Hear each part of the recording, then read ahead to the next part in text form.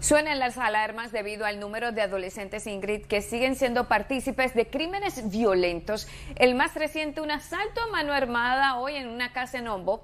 Entre los detenidos hay un niño de solo 13 años. Juan José Rodas habló con expertos quienes piensan que todo esto ya es una crisis social que padres de familia ahora tienen que enfrentar. Juan José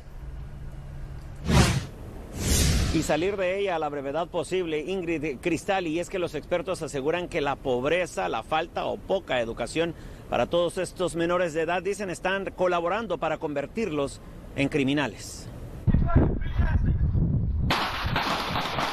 Cada vez son más los menores de edad que se involucran en crímenes violentos en Houston y sus alrededores. Muchachos con, con pistolas y rifles andan agrediendo a, la comunidad.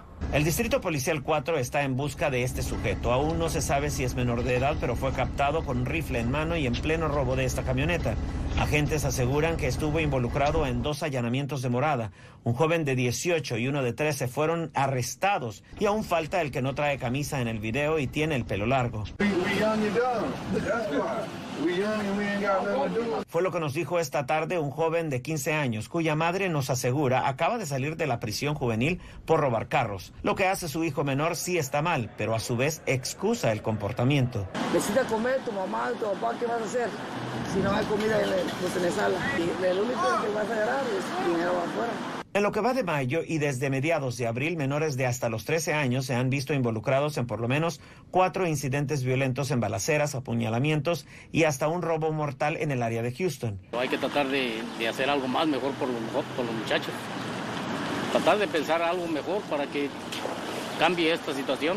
La población juvenil en las cárceles ha disminuido desde los más de 5.000 menores presos a unos 600 en Texas desde 2007. La pobreza, una pandemia que sigue dejando secuelas sobre todo en la salud mental, en medio de un acelerado vivir, dicen otros, podría estar empeorando la situación. Pero ojo que las consecuencias pueden ser diferentes, pero siempre severas. No siempre el hecho de que sea menor de edad quiere decir que va a recibir muy pocas consecuencias. Young kids, I'm seeing kids 10 years old el problema es que yo estoy viendo ahora niños de hasta 10 años involucrados en actividades criminales, asegura el director de la agencia Crime Stoppers.